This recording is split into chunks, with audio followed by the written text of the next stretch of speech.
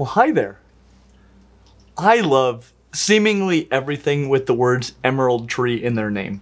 The Emerald Tree monitor is, in my opinion, the most beautiful monitor.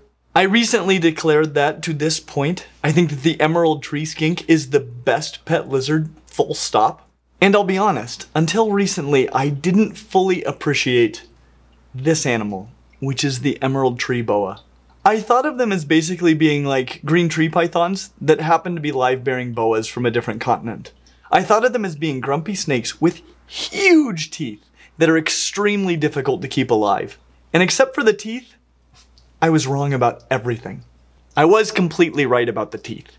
They basically have a few dozen rattlesnake fangs going on in that mouth. I'll actually show you some compared to reticulated python teeth from like a great big retic. These are some extraordinary teeth. But these are quite possibly the most unique and extraordinary snakes that I have ever had the privilege to handle.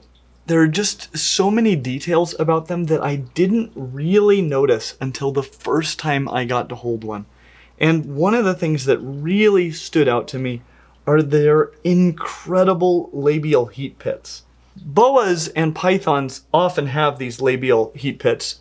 They're, they they detect infrared light, and and so they can be used to detect the temperature of potential prey items and other things in their environment. Like I said, lots of snakes have them. The vipers, the pit vipers, have what are called loreal heat pits right up there on the front of their face, just two big ones. But lots and lots of boas and pythons have these pits. However, even in a world with lots of snakes with labial heat pits, I've never seen pits like these. They are so deep and distinctive and just chiseled and incredible. And and the way that their head is shaped because they've got these incredible powerful jaw muscles that I'll talk to you about here in a moment. But it causes their head to really flare out at the back, kind of right around right under their eyes, sort of where their cheeks would be. And as a result, you know, you can see the pits really well on the top and bottom jaw, but back there under their eyes, they've got enormous pits. It's just, they're just unbelievable. And I'd never really noticed that until the very first time I was able to get up close and personal like this with an emerald tree boa. I mentioned those jaw muscles. They're nuts. I've never seen jaw muscles like this on a snake, at least not for the size of this snake. That head is enormous, like the head of a viper. In the back it just gets huge, but it's it's not venom glands that are back there. It's just those colossal jaw muscles because these snakes have some very serious jaws going on. And they're not only substantial in the jaws department, the whole snake it's just built of a different sort of a quality. Really, you know, a lot of snakes, well, they feel like typical snakes.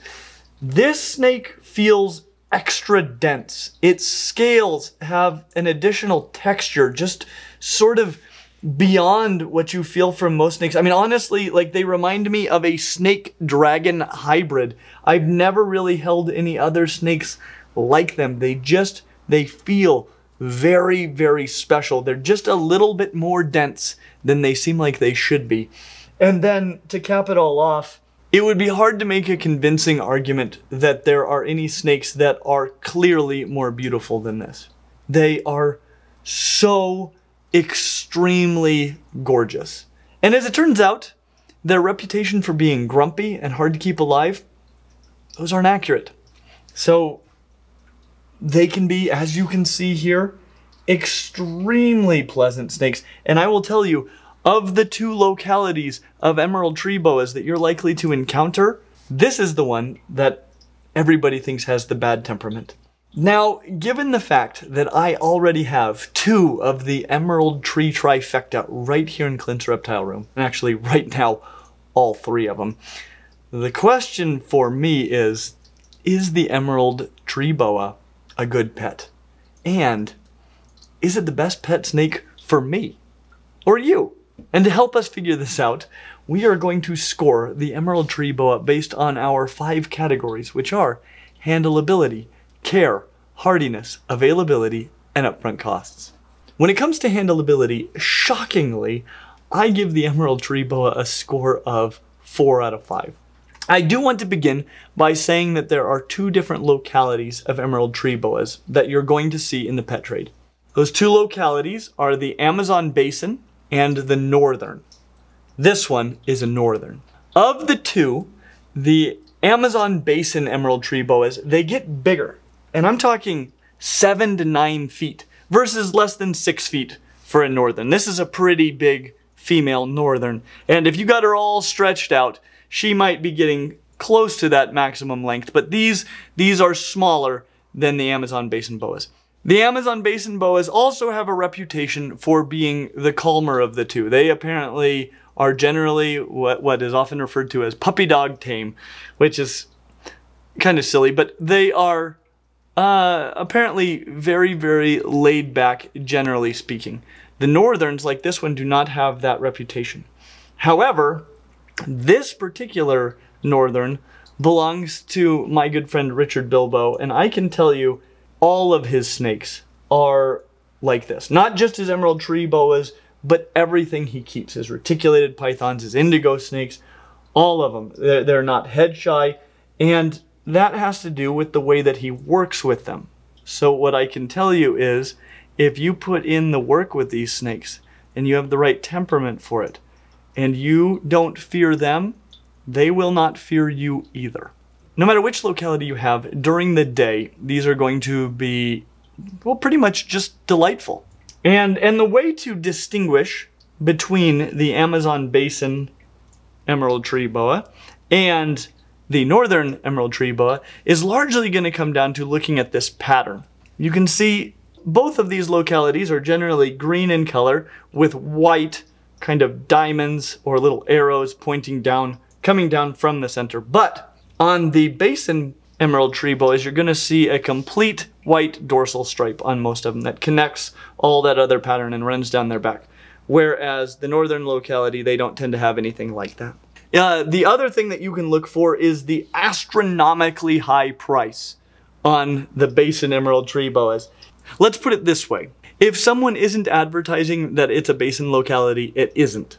And if they are saying that it's a basin locality, double check. But the rankings that I'm going to give to this snake are going to be for the northern locality, since more than likely that is the one that you're going to be getting. The basin locality will more than likely be absolutely delightful during the day, and northerns, like this one, might take a little bit of work. And again, that isn't to say that they can't become wonderful, but they might not be that way coming out of the box. And know that a bite from an adult will be memorable. At night, be very careful. When you grab food as it runs or flies by in the dark, you grab warm things and ask questions later. Other than the risk of a bite, which is, you know, uh, more likely to happen at night as, as a mistaken feeding response, these are absolutely delightful to handle. They're not quick. You can see the way that this snake moves, and I'm trying to be respectful of that, and I'm trying to move slowly and methodically. This snake lives high, high, high up in the trees. And sort of like what you see maybe from chameleons. When you live up high in the trees, you're very careful about all of your movements because if you're not so careful, you don't reproduce. They also can hold on really, really well. Again, because they live up in the treetops, being able to hold on well is everything for these snakes. And honestly, you can give them just the tip of their tail with which to hold onto your fingers, and they can support their entire body from that tiny location. They don't scratch, and they can't drop their tails, so they got all that going for them. But for a non-venomous snake that is no bigger than these are, that bite is a doozy. I want to take just a moment to say thank you to our rad fans and stinking rad fans at Patreon who actually made it possible for me to go out to Nerd earlier this year, back before the world fell into chaos. And that is where I held my first Emerald Tree Boa, and since then, everything has changed for me. And that never would have happened without you, and this video might not have happened without you. So thank you so much to our patrons. When it comes to care, and again, this is a complete surprise to me. we give the emerald tree boa a score of 4 out of 5. The, the care is actually amazingly simple for these snakes once you get it right. Proper temperatures, humidity, and ventilation are all essential, so get that dialed in long before your snake arrives. The enclosure should actually be fairly large. The enclosure should be somewhat vertically oriented because this is an arboreal snake, but they will make good use of horizontal space as well. It's something that often they don't receive. But activity, especially at night, is actually fairly important for these snakes. We used to think that they just hung out up high in the treetops and really didn't move around. They just waited for something to come to them. But as we've examined their diet and, and their gut content in the wild, what we've found is they're eating a lot of ground dwelling rodents and other mammals. And so at night, they're coming down from the treetops and they're hunting things that are walking by. These snakes move around in the canopy a lot, and being able to move around like that can actually be very, very important for their overall health. One thing you're going to need to make sure that that enclosure has is multiple good perches. That's where your snake is going to be almost always, especially during the day. And make sure that the perches are not too large, especially for smaller snakes. They can end up with like some sort of kinking in their in their tails if they're holding on to too large of a perch all the time. So they actually prefer a smaller perch. Make sure they have access to water. That's going to be really important. And a misting system is a good idea to maintain a fairly constant humidity. Just make sure that it's not spraying right onto the perch where the snake is sitting. Uh, that can cause them to become wet and cold and they just don't like it. Make sure you have some, some real or fake plants in the enclosure to give them a little bit of cover so they can feel more secure. And a substrate that holds humidity is a good idea, uh, especially because it won't get soiled very often because these snakes don't eat all that often and they don't poop very often. These guys are to be relaxed during the day but ready to go at night. And so whenever you have to do cleanings or anything like that, try to get those done during the day because it's a whole other animal once the lights go off. Again, these are nighttime hunters. So during the day, they're going to be just wrapped up on a perch, not doing a whole lot. It's not a good time to feed them. Feed them at night. And they do really well on a diet primarily of rodents like rats and mice. This is what they're eating largely in the wild. And one thing, we talked about these pits before, but that prey must be warm. They know. We used to think that these were bird eaters, being up in the trees and all, but mammals actually make up the bulk of their diet in the wild, so it's unsurprising that they do well on this diet in captivity as well. As adults, these are only going to eat every few weeks. Like most boas, they have a slow metabolism, and like most boas, they love to eat. So it's easy to overfeed them, but to maintain a healthy boa, these only need to eat like every three weeks, maybe once a month as adults, a little more often as juveniles. And because they don't eat very often, they don't poop very often either. So your maintenance for this snake is actually fairly low and they do really well with fairly simple setups. And so that's why they get such a high score. It surprises me too. When it comes to hardiness, and this is another shocker to me, we give the Emerald Tree Boa a score of 4 out of 5. Now I'm making a huge assumption here. I'm assuming that you're getting a captive bred snake. That score is still surprising eh, as, you know, we spent a long time trying to figure these snakes out. And most of the snakes that we were keeping early on were wild caught. But now that we know what we're doing, and we're working primarily with captive bred animals, this snake is one that can be kept successfully with consistency just make sure that you get your temperatures and your humidity dialed in before they get to you. Make sure that the temperature of your feeders are elevated so that they can recognize them as food because they know. And then the last thing is make sure this snake can get some exercise. Make sure it has space to move around or they can develop digestive issues, which eventually could cost you your snake. However, if it's captive bred, it should do great. Now, of course, this score falls through the floor if you're getting one that is wild caught or, or even far, a farmed import.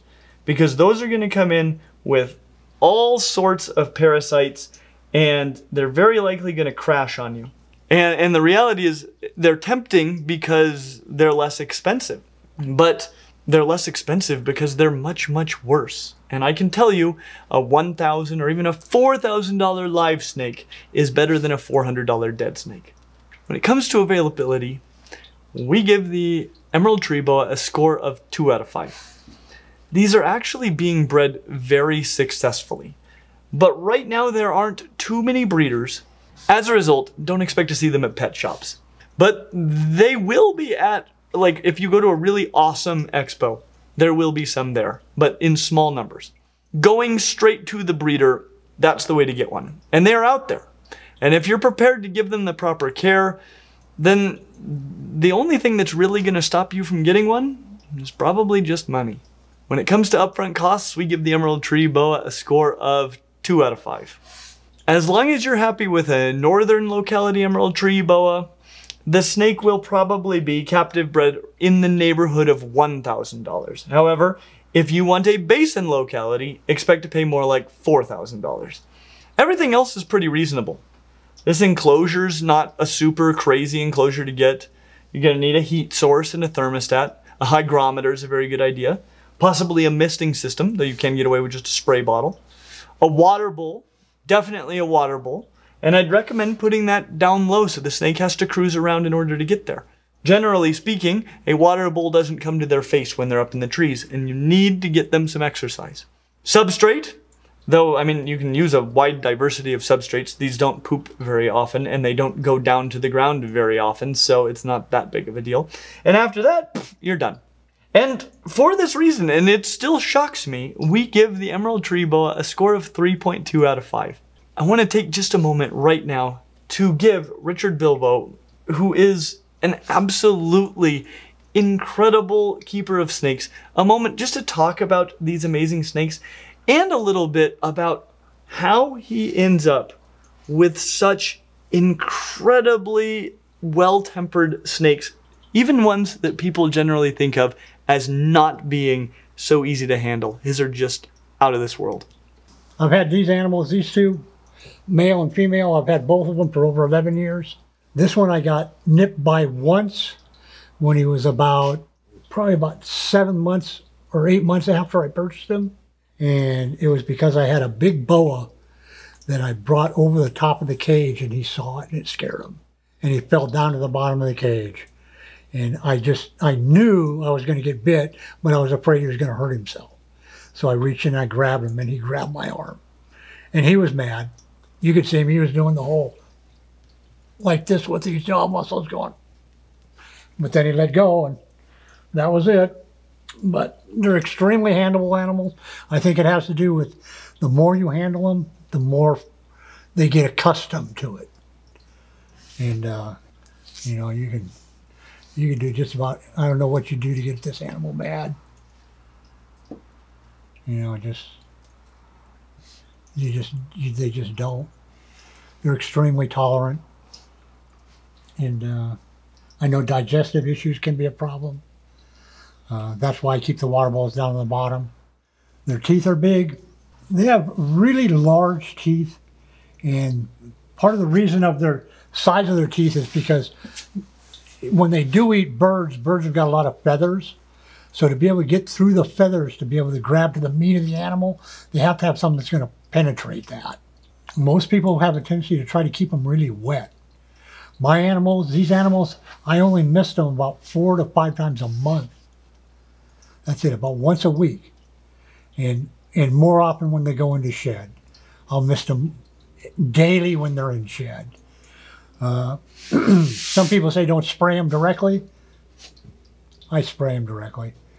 You know, it's like if they're out in the wild, and they get rain, the rain's not going to go around them. You know what I mean? Mm. It's going to go right on them.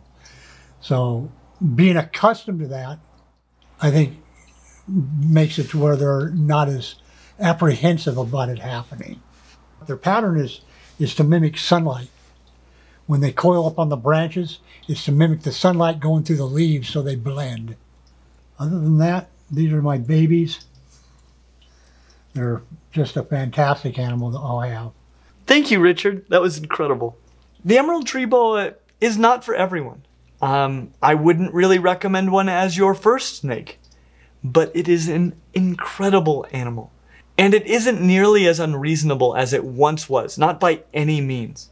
And I definitely want one of these someday. As always, like and subscribe, and we hope to see you real soon. Oh, what a day. This is a good day. Look at how delightful she is. Hmm. See, not that many people have booped an emerald tree boa, especially the grumpy emerald tree boa locality, on the jaw muscles with their nose, but I have.